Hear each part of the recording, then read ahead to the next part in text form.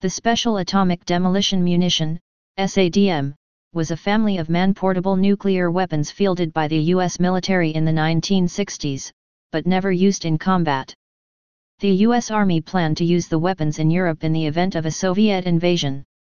U.S. Army Green Light Teams or Engineer Atomic Demolition Munitions Specialists, would use the weapon to destroy, irradiate, and deny key routes of communication through limited terrain such as the Fulda Gap. Troops were trained to parachute into Soviet-occupied Western Europe with the SADM and destroy power plants, bridges, and dams. Coastal targets It was also intended that the munition could be used against targets in coastal and near-coastal locations. One person carrying the weapon package would parachute from an aircraft and place the device in a harbor or other strategic location that was accessible from the sea.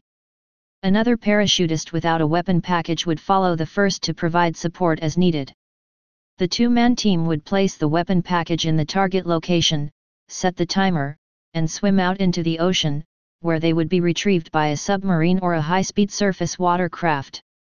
Other lightweight nuclear devices In the 1950s and 1960s, the United States developed several different types of lightweight nuclear devices.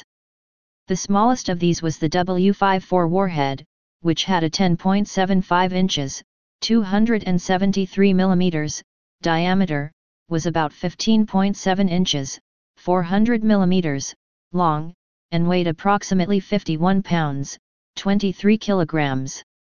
It was fired by a mechanical timer and had a TNT equivalent between 10 tons and 1 kiloton.